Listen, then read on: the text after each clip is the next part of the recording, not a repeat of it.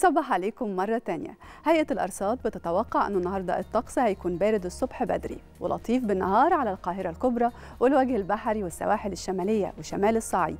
معتدل على جنوب سيناء وجنوب الصعيد.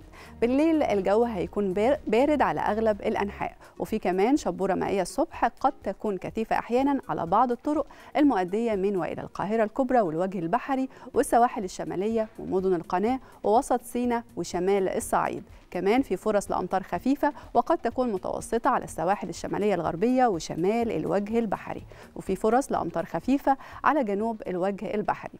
خلونا نتعرف على تفاصيل أكتر عن حالة الجو النهاردة من الدكتورة منار غانم عضو المركز الإعلامي بهيئة الأرصاد الجوية. صباح الخير يا دكتور. صباح الخير على حضرتك أستاذة لميا وصباح الخير على كل السادة المشاهدين. أهلا بيك يا فندم. طمنينا عن حالة الطقس النهارده. هل في انخفاض في درجات الحرارة؟ الأمطار اللي هتكون خفيفة فين والمتوسطة فين؟ بالفعل إحنا اليوم مستمرين في انخفاض درجات الحرارة خاصة خلال فترات الليل المتأخر والصباح الباكر. الصغرى بتنخفض خلال فترات الليل على القاهرة الكبرى بتوصل ل 10 و11 درجة مئوية. فاحنا خلال فترات الليل المتأخرة وفترات الصباح الباكر بنحس بالأجواء ما بين الباردة إلى شديدة البرودة خاصة كمان في مناطق من شمال الصعيد المدن الجديدة وسط سيناء. المناطق دي درجات الحرارة فيها بتنخفض.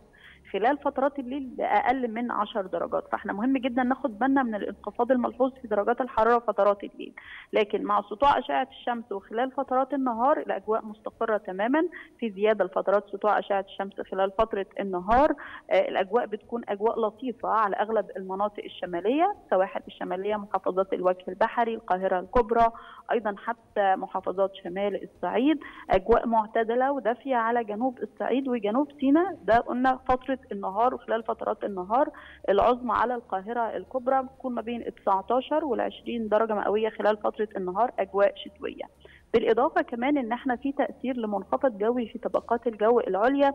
تأثيره الكبير والواضح بيكون على المناطق الساحلية خاصة السواحل الشمالية الغربية بعض المناطق من شمال الوجه البحري.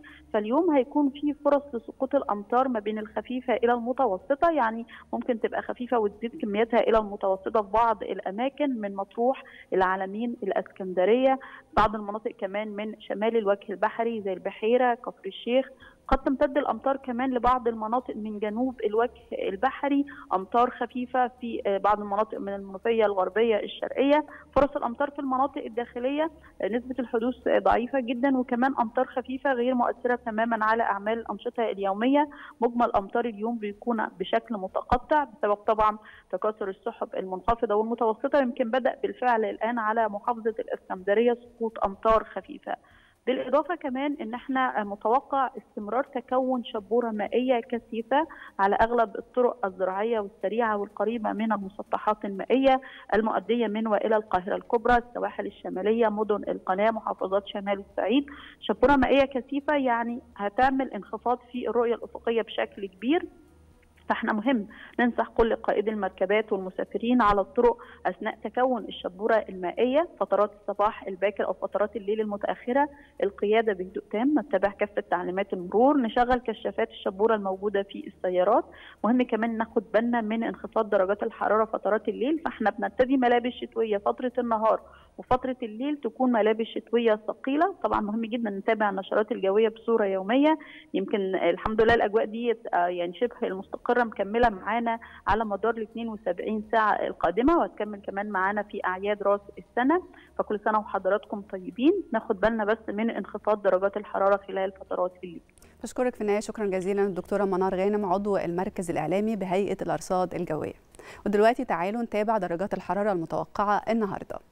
هنبدأ بالقاهرة للعظمى فيها 20 والصغرى 11 العاصمة الإدارية 19 12 اسكندرية 20 13 العلمين الجديدة 19 12 مطروح 19 14 دمياط 20 13 بورسعيد 20 13 الإسماعيلية 21 12 السويس العظمى فيها 20 والصغرى 11 العريش 18 12 كاترين 14 4 طابة 18 12 حلايب 22 16 شلاتين 25 14 شرم الشيخ 23 15 الغردقة 22 14 الفيوم العظمى فيها 20 والصغرى 9 بني سويف 20 9 الوادي الجديد 22 9 أسيوط 20 6 سوهاج 21 8 قنا 22 9